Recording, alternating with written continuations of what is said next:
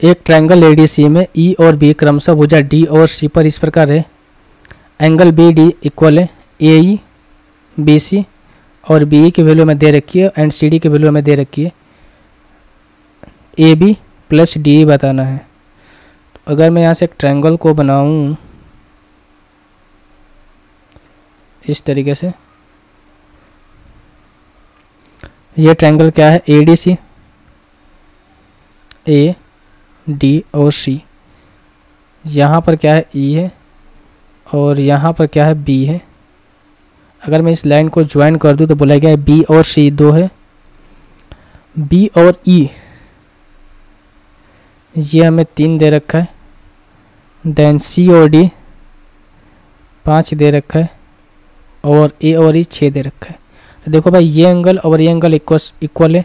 देखो, ये एंगल एक एंगल इक्वल है और बड़ा वाला ट्रायंगल छोटा वाला ट्रायंगल में देखोगे तो ये एंगल भी सेम आ रहा है, ठीक है? ये एंगल भी दोनों में कॉमन आ रहे थे तो हम यहाँ से सिमिलरिटी लगा सकते हैं।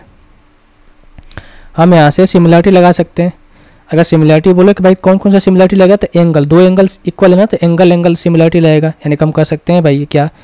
ए ई e बटे में ए सी बराबर बी ई e बटे में सी डी बराबर ए बी बटे में ए डी। याद कैसे आपको रखना है कि ये किसके इक्वल होता है? ये ये हो जाएगा किसके? ए किसके हो जाएगा भाई? ये बटे में ये बराबर ये बटे में ये, ठीक है? ऐसे करना है। इसके बाद बी ई अगर आपसे पूछे भाई, ये बटे में ये बराबर क्या होता है? ए बी अपोन में ए डी ठीक है?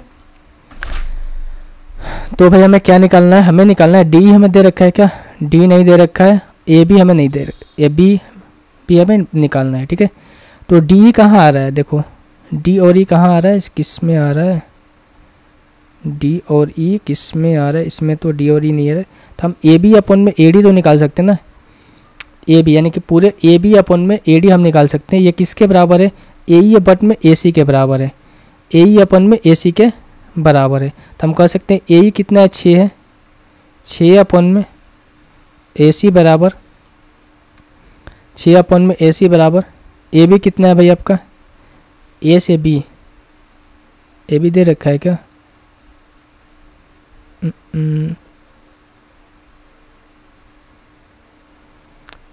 बी हमें दे रखा है तो हम इसको कह सकते हैं कि तीन। बटे में सी डी कितना दे रखा है भाई? पाँच। बराबर ए बी हमें नहीं पता है तो इसको लिख सकते हैं कि ए बी और ए डी ए डी भी नहीं पता है। तो हम यहाँ से क्या कर सकते हैं भाई? अगर हमें ए सी निकालना हो तो सिक्स इंटू पाँच बटे तीन कर सकते हैं। अगर हमें यहाँ से ए सी निकालना हो सिक्स इंटू पाँच बटे तीन करें कितना हो जाए? तीन दूनी का छः, यानी कि ए सी हो जाएगा दस। ए सी कितना हो जाएगा? दस हो जाएगा। ए और सी कितना हो जाएगा? दस हो जाएगा। अगर ए और सी दस हो जाएगा तो ये वैल्यू कितनी हो जाएगी? आठ हो जाएगी। ए बी की लेंथ कितनी हो जाएगी? आठ हो जाएगी।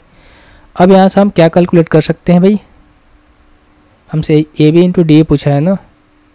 हमें ये निकालना है डी और ई निकालना है तो ए और डी हमें निकालना होगा। तो ए डी भी तो निकाल सकते हैं। अब यहाँ से देखो। अगर मैं इसको और इसको लूँ तो ए ई बटे में ए सी ए ई बटे में ए कहाँ गया? ए ई बटे में ए सी तो कितना हो जाएगा आपका? छः बटे में दस। छः बटे में दस।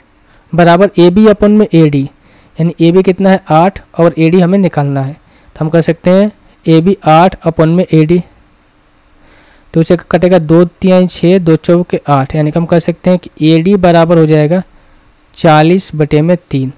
अगर ए डी बराबर हमें चालीस बटे में तीन दे रखा है तो हम कह सकते हैं कि डी और ई कितना हो जाएगा भाई आपका? डी और ई कितना हो जाएगा? छः चालीस बटे में तीन माइनस का छः कर देंगे। यानी कि पूरा जो लेंथ है, इसमें से हम छः को माइनस कर देंगे। तो इसमें से चालीस में से हम अट्ठारह को माइनस करेंगे। दस में से आठ जाएगा दो।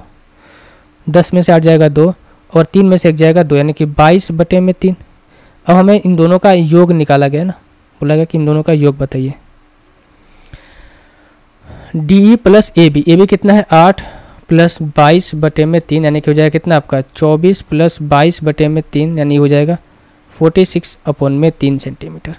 कितना हो जाएगा भाई आपका? फोर्टी सिक्स अपॉन में तीन सेंटीमीटर, ऑप्शन नंबर डी।